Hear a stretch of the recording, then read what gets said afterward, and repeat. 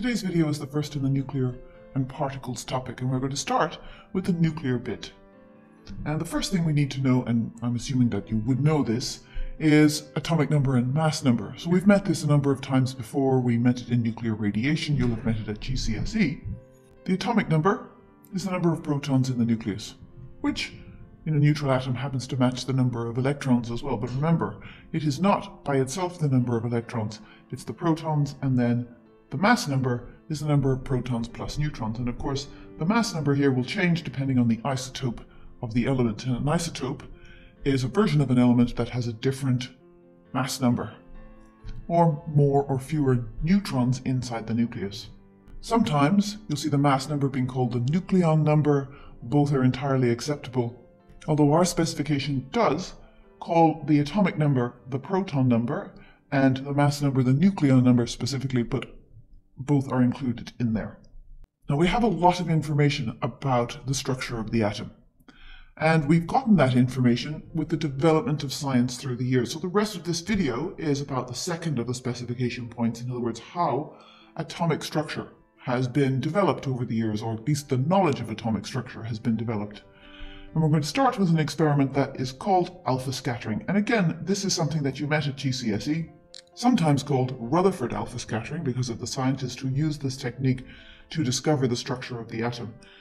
And the idea here is alpha. We know about alpha particles. We know they consist of two protons and two neutrons, so they're doubly positively charged. We also know they have an equivalent structure to the nucleus of helium. And the experimental setup was that alpha particles were fired at a very thin piece of gold foil. And a detector was placed on the other side. I'm just going to draw an eye as our detector for the moment. And on that screen, when the alpha particles collided with the screen, flashes of light were produced and those were counted. What you do need to know are the observations and the conclusions that went with these discoveries. So observation number one is that the vast majority of those alpha particles passed straight through the foil as if there was nothing there. The conclusion that was made from this is that there is in fact nothing there. Most of the atom is empty space. A small percentage of the alpha particles were deflected by less than 90 degrees they veered off to the left or right. The conclusion that was come to was that the nucleus was very positively charged and it was the repulsion between the positive alpha particles and the nucleus that was causing this change in direction. And also the number of particles gives you an idea of the size of the nucleus relative to the size of the atom. So if you look at the proportion or the percentage of the alpha particles that were deflected versus the percentage that went straight through, you could get an idea of where the field um, of the nucleus was. The final observation was this observation here. A very, very small percentage of them were deflected by greater than 90 degrees. And this allowed the researchers to conclude that the mass of the atom, most of the mass of the atom was concentrated in the nucleus because it takes a very large change in momentum. These alpha particles are traveling at about a million meters per second, and so in order to not just stop them, but actually reverse their direction in that manner, a very large force would be needed. So most of the mass is concentrated at the center. It also gave them a better idea of the size of the nucleus relative to the size of the atom and that most of the positive charge of the atom was also concentrated at the center. So these are the three conclusions that they came to, and from that they built up what they call the nuclear model of the atom, with your nucleus at the center and the electrons at the time orbiting around the nucleus. This alpha scattering experiment is an example of basically how science works. The fact that there were plenty of ideas about atoms, what they looked like, how they operated, and we're going to go through those in a moment because you need to appreciate the history of the study of the atom, but all of the advances that are made are made based on evidence. And that is the key point here. So the first in our characters, if you like, is the ancient Greek Democritus, who postulated that if you take any material and you cut it in half, and you cut the pieces in half, and you keep cutting, eventually you end up with a fundamental building block of matter and he called that fundamental building block atomos, which of course is where we get the word atom from. A lot of his work was forgotten and lost until the chemist John Dalton revived it in the early 18th century. and he started measuring the masses of various elements and figured out the atomic sizes from those. This was the forerunner of modern chemistry, the periodic table.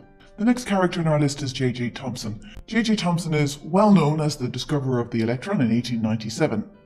And he belongs in this group because when he discovered the electron, he was the first person to find something that was smaller than the atom of hydrogen.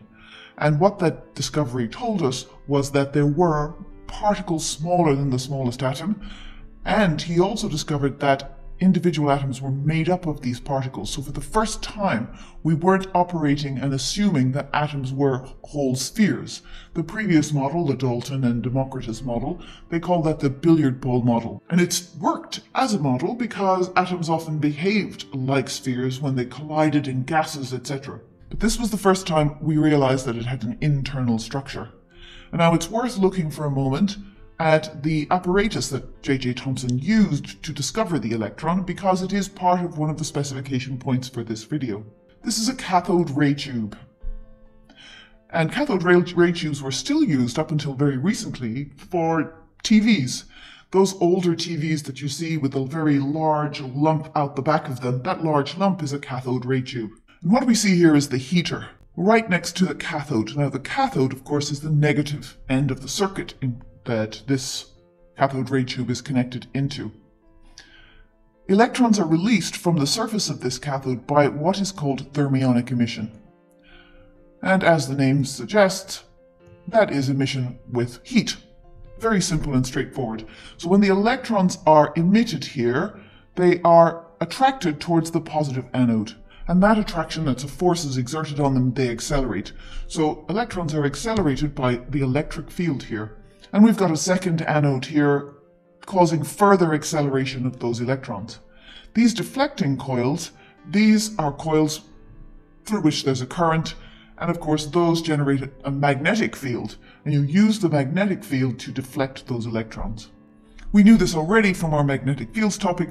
We know that charged particles experience a force inside a magnetic field, and we have already derived in that the equation R is equal to mv over bq. If you don't know that derivation, then go back to the magnetic fields topic and have a look for it. This is very important when it comes to particle accelerators and particular particle detectors, which will be a future video because we are able to tell a lot about the properties of a particular particle, as we can see from the radius of its curvature through a magnetic field.